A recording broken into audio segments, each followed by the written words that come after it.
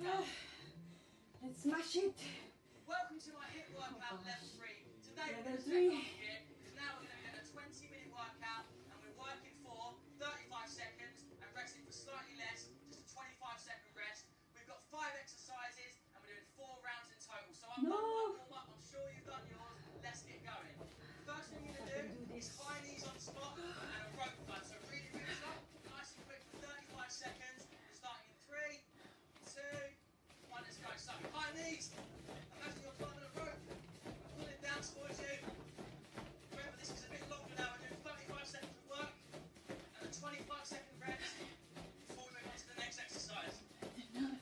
this.